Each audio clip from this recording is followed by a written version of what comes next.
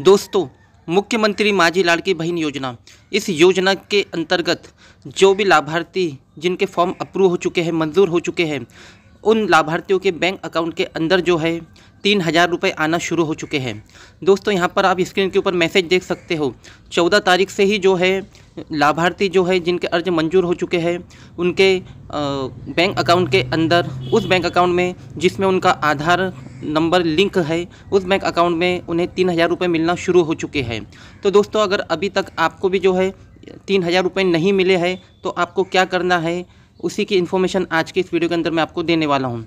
तो दोस्तों, चौदह तारीख से लेकर सत्रह तारीख तक जो है जो भी लाभार्थी है, जिनके फॉर्म मंजूर हो चुके हैं, अप्रूव हो चुके हैं, उनके बैंक अकाउंट के अंदर जो है तीन हज़ार रुपये जो है वो आने वाले हैं। अगर अभी तक आपके बैंक अकाउंट में नहीं आए हैं तो अभी आपको जो है सत्रह तारीख तक के इंतज़ार करना है, क्योंकि चौदह तारीख से जो है लाभार्थियों के बैंक अकाउंट के अंदर पैसे आना शुरू हुए हैं और सत्रह तारीख तक के जो है ये आते रहेंगे।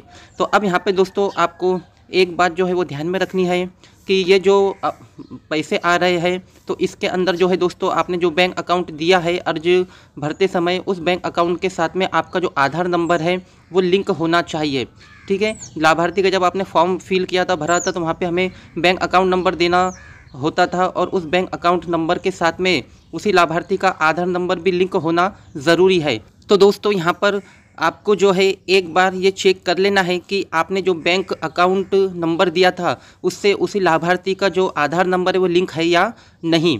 ठीक है? तो ये बात आपको इंश्योर कर लेनी है कंफर्म कर लेनी है, क्योंकि ये जो पैसा आने वाला है, ये जो तीन हज़ार रुपये आ रहे हैं, ये जो किस्त आ रही है, ये डीबीटी के थ्रू आ रही है। डीबीटी मतलब डायरेक्ट बैंक ट्रांसफ़र तो इसमें आपने जो बैंक अकाउंट नंबर दिया था, उससे आपका आधार नंबर लिंक होना ज़रूरी है। तो ये बात आप ध्यान में रखें और सत्रह तारीख तक जो है दोस्तों धीरे धीरे सभी लाभार्थियों के जिनके फॉर्म मंजूर हो चुके हैं, उनके बैंक अकाउंट के अंदर जो है तीन हज़ार रुपये आ रहे हैं।